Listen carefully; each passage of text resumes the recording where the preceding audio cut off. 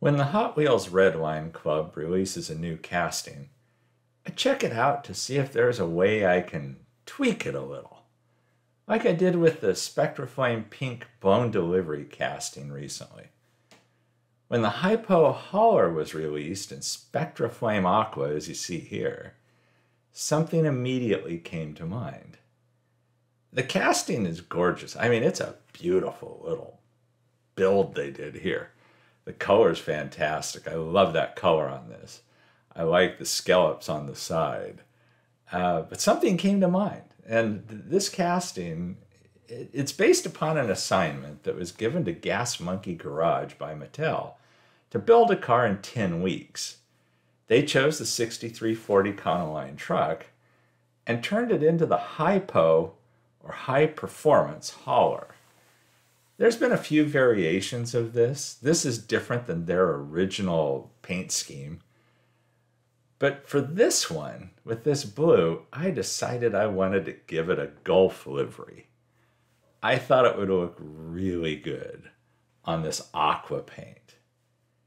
So that's what I set out to do.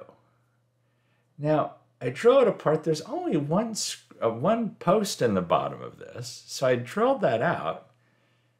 Uh, the headlights hold in the front of the casting, which is kind of cool.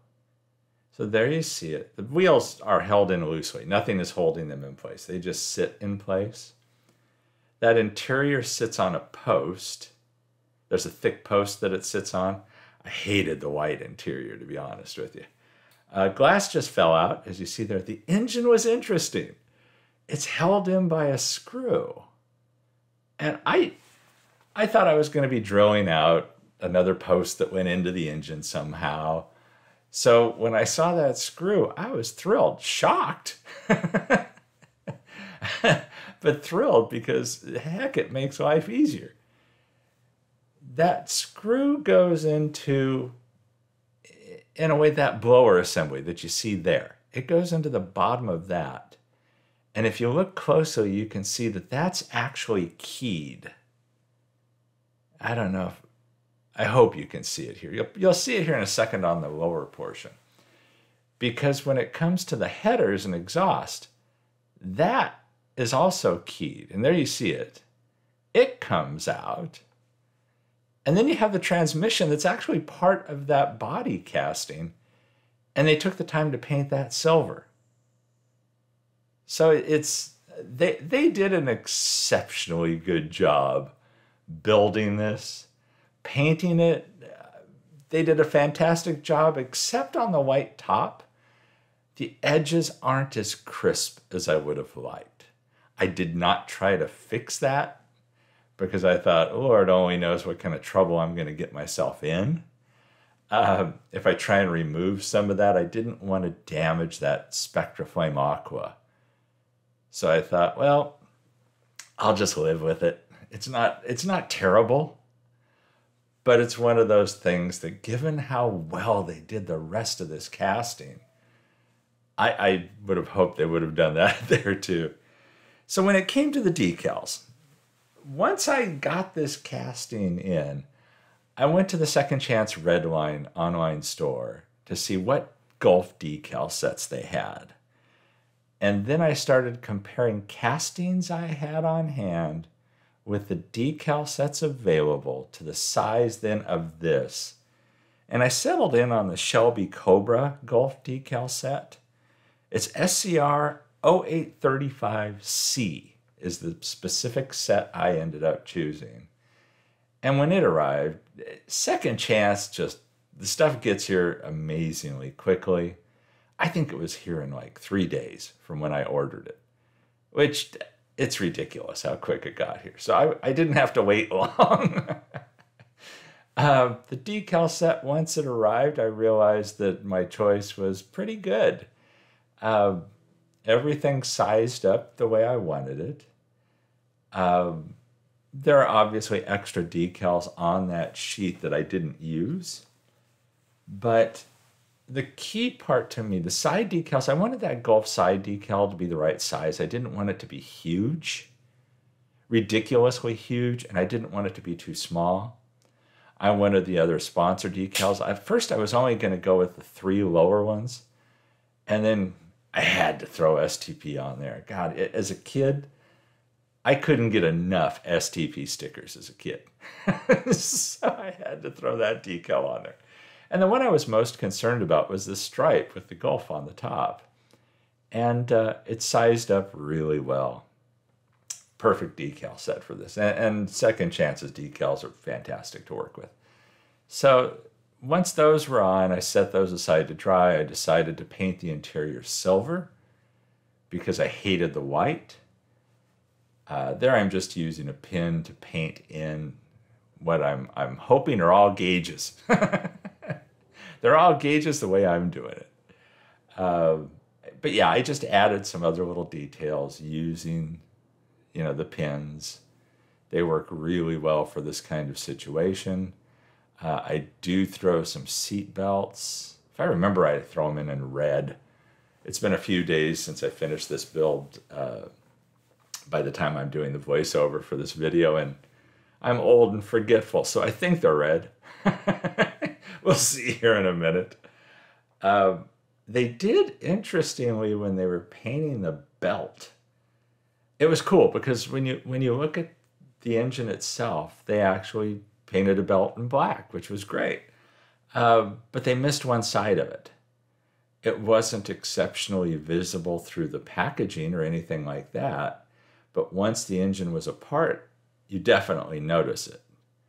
Um, so I just painted that one section with black. Then I do go over this engine with Nuln Oil because I thought it could look better. And so the Nuln Oil wash really helps that engine detail pop a little better. I also put that Nuln Oil on the transmission in the body casting to bring out the detail on it as well. And it just adds a little bit more realism to it. And so again, I just, you know, you, you put the Nuln Oil on, when it dries, it seems like it disappears. Then you need to put a little bit more. At least for me, that's how it seems to go. Um, I didn't put it up on the top. Like I tried to watch some of the areas I was using it because I didn't want to deaden any of the shine. Uh, I did use Micro Kristal Klear to give the headlights a glass-like sheen to them, like another layer to them.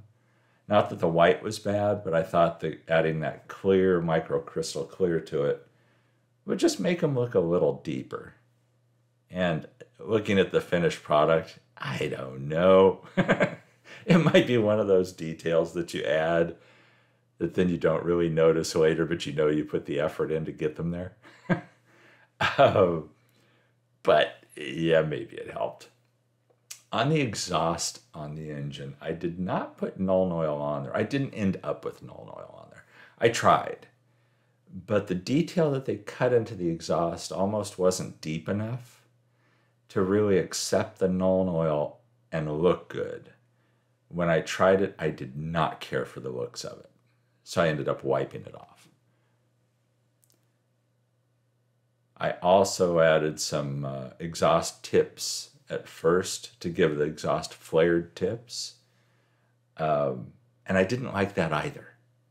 So those aren't on here. As I mentioned before, this is a keyed assembly for the engine. And so you lay down the bottom half of the engine, the, the well, the header section that comes off, and then you put that keyed blower part of the engine, the rest of the engine assembly in there, and then screw it together. That was fantastic. And I can't tell if, if there's anybody anywhere near Mattel watching this. I really appreciate that you held that in with a screw. it made life much easier. I love those wheels that are on this thing. If, if they ever threw those in one of their wheel sets, I'd pop, probably buy, I think it's a limit of five boxes on their wheel sets. I'd probably buy five boxes immediately because the wheels and tires on this are fantastic. At first, when I went to throw this together, I forgot about how that uh, interior has the big post on it. And it needs to be put on the base before it's put in. Otherwise, those headlights don't go in properly, or they they fight you. And so there you see the interior popping on a wide post that's there. And now it will drop in. And yeah, those seatbelts were red that I did. I was remembering that correctly. So this isn't a very elaborate build by any sense of it, but um, I'm really happy with the results. I'm sure there's going to be some people that look at this and are appalled that I cracked open this this limited edition. I believe it's a limited edition of like 30,000. so, uh, you know, I guess even grains of sand are a limited edition. but uh, yeah, so there's one last perfect one still in the packaging out there. And I'm sure there's some people that are going to hate the fact that I added a livery to it. But in my eyes, this thing was just begging for the Gulf livery. So there you see where we started. And again, it's a beautiful little casting. And, uh, you know, if you just keep it that way in your collection, I can see why. Taking it out of the packaging, you get to see so much more of it, though it if you keep your collection in the packaging, I think you're missing a lot, but you're probably retaining some value. So there you see the Gulf livery thrown on there. Sponsor decals, the uh, stripe on the roof with the Gulf logo. So I hope you like this build. I hope you like the livery I chose for it. And uh, the little tweaks to some of the detail. And You can see the interior there as it goes by. I think that looks much better than just the plain white interior. Adding the gauges, just detailing out a little bit more with those open side windows. I think you really get a better look to this build. Again, that's the one seat just centered in the middle, if, if you didn't notice that originally. Um, but yeah, I'm really happy with how this turned out. I hope you like it too. There's a few glamour shots coming up. So uh, thanks for watching these videos. Hope you like this one. And uh, everybody stay safe and healthy out there. And uh, I'll catch you in the next one.